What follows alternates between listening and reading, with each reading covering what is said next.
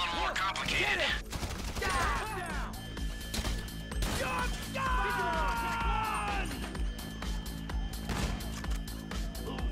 You found the laptop yet?